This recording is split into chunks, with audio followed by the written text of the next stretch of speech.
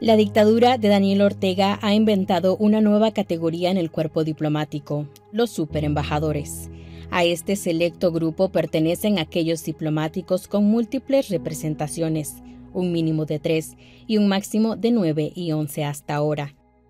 Los cuatro superembajadores son Alba Azucena Torres Mejía, Mohamed Farrar Alastar, Mauricio Alberto Yeli, Sandy Dávila Sandoval.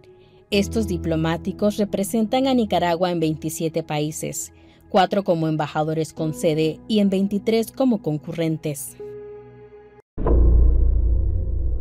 Mohamed Farrar Alastar maneja 11 embajadas en los países árabes.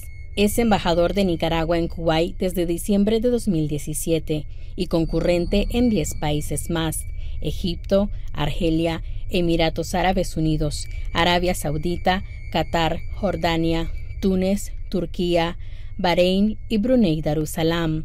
Farrar Alastar es sobrino del fallecido dictador libio Muammar el Gaddafi y pertenece al círculo cercano de Daniel Ortega y Rosario Murillo.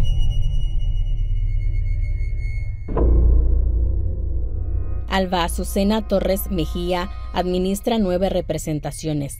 Es embajadora de Nicaragua en Rusia desde diciembre de 2018 y concurrente en Armenia, Bielorrusia, Kazajistán, Kirguistán, Mongolia y Azerbaiyán.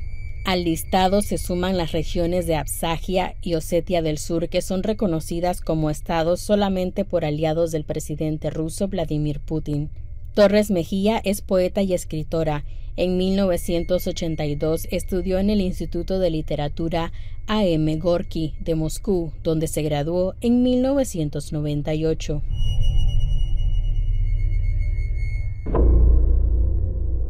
El italiano Maurizio Alberto Gelli representa a Nicaragua en cuatro países. Es embajador en España desde noviembre de 2022 y concurrente en tres países europeos más, Andorra, Grecia y Eslovaquia. Gelli es hijo de un exagente italiano acusado de operaciones clandestinas anticomunistas durante la Guerra Fría. También fue miembro de la logia masónica P2 involucrado en la quiebra del Banco Ambrosiano en Italia. En 1999 el diario El Mundo de España afirmó que Maurizio Gelli era sospechoso de intentar blanquear el dinero ilícito de su padre, Lucio Gelli.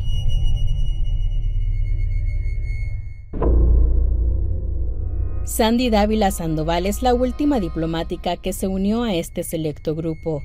Es embajadora de Nicaragua en Japón desde agosto de 2022 y concurrente en Vietnam y Malasia. Esta última representación le fue otorgada el lunes 9 de octubre de 2023. La carrera diplomática de Dávila ha sido un ascenso desde su primer puesto en la dirección de protocolo y ceremonias del Estado.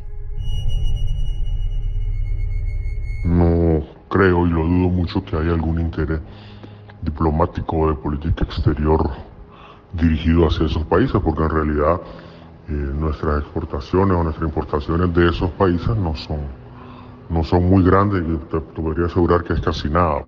Entre enero y agosto de 2023, las exportaciones totales hacia estos 27 países sumaron unos 61.2 millones de dólares, que representaron un mínimo 2% del total de las ventas al exterior que superaron los 2.884.3 millones de dólares, según datos Ventanilla Única de Comercio Exterior de Nicaragua, PUSEN, antes CETREX. Las estadísticas revelan además que la asignación de estas concurrencias no ha impactado el comercio bilateral, los mayores montos de exportaciones e importaciones son aportados por países con los que se tiene una larga relación diplomática, como España y Japón, mientras en la mayoría de los países el dato del comercio es cero. En el área de la cooperación de todos los países, solo España y Japón han otorgado donaciones en los últimos años, según datos del Banco Central de Nicaragua. España donó unos 900 mil dólares entre 2020 y 2022, mientras que en el mismo periodo Japón otorgó 18.4 millones de dólares. Exdiplomáticos y expertos en relaciones internacionales consideran que estos nombramientos buscan tres objetivos. Ocultar el aislamiento internacional del régimen, satisfacer a Putin al establecer relaciones con casi una decena de naciones exsoviéticas y mejorar los negocios de la familia presidencial y sus dirigentes. Son negocios, nada más negocio.